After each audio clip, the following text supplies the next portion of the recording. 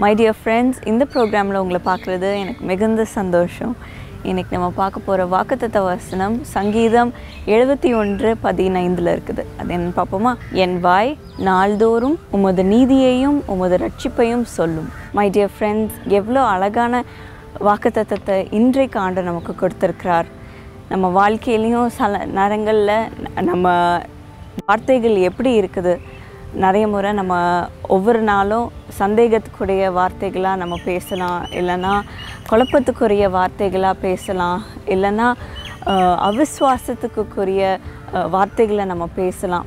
நிறைய முறை நமக்கே அது எதிராக வரும்படி இல்லைன்னா இது நடக்காது இது நடக்காது அப்படின்னு சொல்லி நம்ம அது நல்லா போயிட்டுருக்கிற விஷயத்தையும் சில டைம்ஸ் நம்ம இந்த மாதிரி தேவையில்லாத வார்த்தைகளை நம்ம பயன்படுத்தி நம்ம வாழ்க்கையை நம்ம கடினப்படுத்திக்கிறோம். ஆனால் இந்த வசனத்தில் நம்ம பார்க்குறோம் நம்மளுடைய வார்த்தைகள் நீதி உள்ள வார்த்தைகளாக ஆண்டவர் மாற்றப் போகிறார்.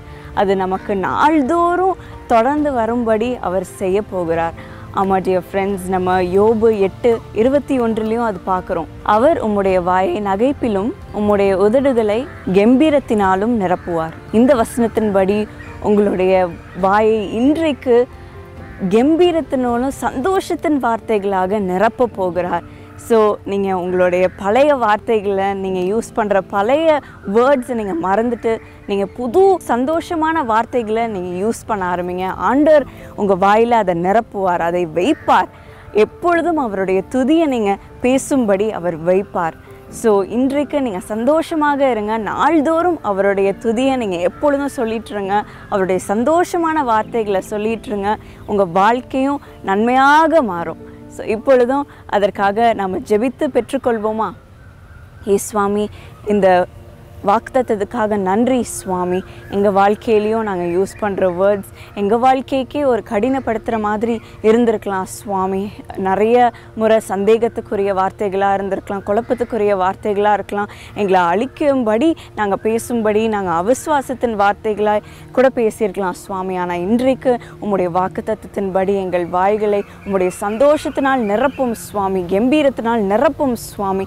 எப்பொழுதும் எங்களுடைய உதடுகளில் உம்முடைய துதி எப்பொழுதும் இருக்கட்டும் சுவாமி. சந்தோஷம் எப்பொழுது இருக்கட்டும் சுவாமி.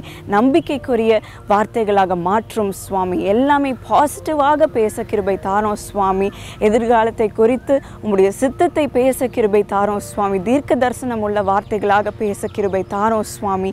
இன்றைக்கு அந்த ப்ராமிஸை ஒவ்வொருவருடைய வாழ்க்கையிலையும் இன்றைக்கு கொடுக்கறதுக்காக நன்றி சுவாமி. அதை பெற்றுக்கொண்டு அதன்படி நாங்கள் நடக்க எங்களுக்கு கிருபை தாரும். இன்றைக்கு ஒவ்வொருவரையும் ஆசிர்வதிக்கிறதுக்காக நன்றி. ஏசு நாமத்தில் ஜெபிக்கிறேன். ஆமே காட் பிளஸ் யூ